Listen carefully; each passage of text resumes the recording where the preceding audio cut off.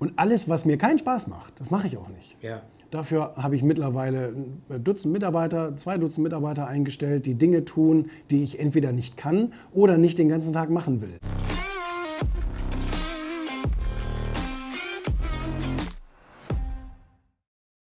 heute hier, morgen da und trotzdem ist irgendwie so der Umgang mit dir.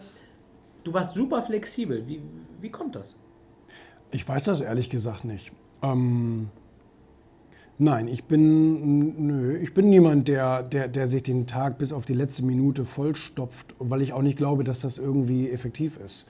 Ähm, weil in erster Linie mache ich das alles aus Spaß. Das Ja. klingt jetzt ein bisschen blöd, weiß ich, aber ich mache das alles nur aus Spaß. Und ähm, jetzt, jetzt hat man meine äh, Werte, Wertvorstellung rausgehört. Ja. Und, ähm, und alles, was mir keinen Spaß macht, das mache ich auch nicht. Ja. Dafür habe ich mittlerweile ein Dutzend Mitarbeiter, zwei Dutzend Mitarbeiter eingestellt, die Dinge tun, die ich entweder nicht kann oder nicht den ganzen Tag machen will. Ja. Und, ähm, und das funktioniert auch sehr gut.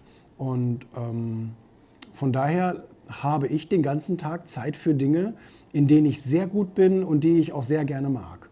Mm, Und von daher, ja, aber du hast schon recht. Also es wurde mir schon öfter gesagt, dass ich, dass ich ähm, extrem viel Kapazität habe. Ja. Also Reinhold Messner hat mir mal gesagt, wenn Sie, wenn Sie tun, was Sie lieben, dann, dann können Sie nicht ausbrennen, dann, dann, gibt Ihnen das Energie zurück. Ja, wie dann, bei Kindern. Ja, Sie, ne, Sie erreichen nie den Nullpunkt oder irgend Ja.